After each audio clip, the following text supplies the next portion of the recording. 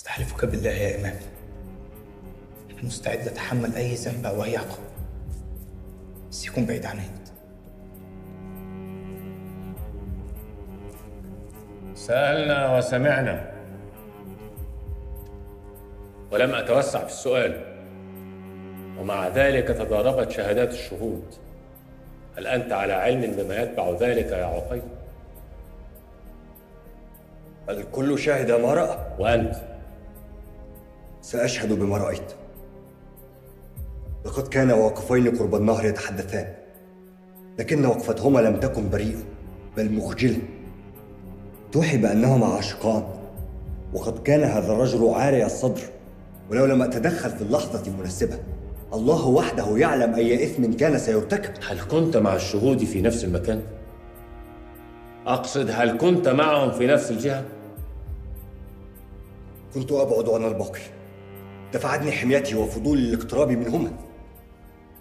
ماذا كنتم تفعلون جميعا بعيدا عن عملكم في اليوم نفسه وفي الساعة نفسها وفي المكان نفسه؟ عقيل اللي جمعنا. عقيل. هل كان عمرو ممسكا بيد هند؟ هل كان عمرو ممسكا بيد هند؟ قد كان يمسك بطرف شالها أوضح جزاك الله خيرا.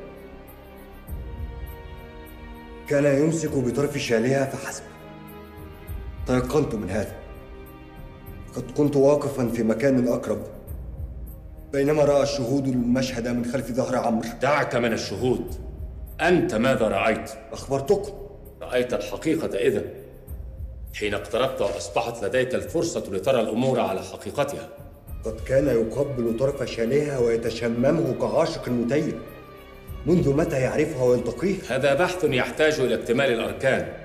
إن ظهرت هند تسأل ويسأل عمرو. المهم أننا رأيناهما معا. كنتم في أثرهما ترصدتم لهما لتوقعوا بهما في الفضيحة. لا لرد الفاحشة وليس لإقامة شرع الله. بعد الذي سمعت تبرئهما؟ شهادة الشهود لم يأتي أي منهما الفاحشة التي توجب الحد. بل لهما الحق عليكم بعدما اتهمتموهما بما لم يفعلا. رجل يختلي بامرأة في مكان منعزل.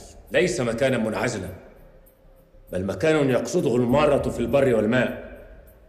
كيف يكون منعزلا ويمر به في نفس اليوم في نفس اللحظة نساج وحداد وأجير دكان؟ أقول لك كان عاريا. عاري الصدر وصدر الرجل ليس بعورة إذا تبيح وجود رجل مع امرأة في مكان منعزل؟ لا أبيح ذلك. لا أبيح. وانفرادهما معا ذنب مستقبح يستوجب التوبة. ولكني لا أسميه زنا. ولا أسميه فاحشة. ومرجعي كلام الله ولا فصل فيه.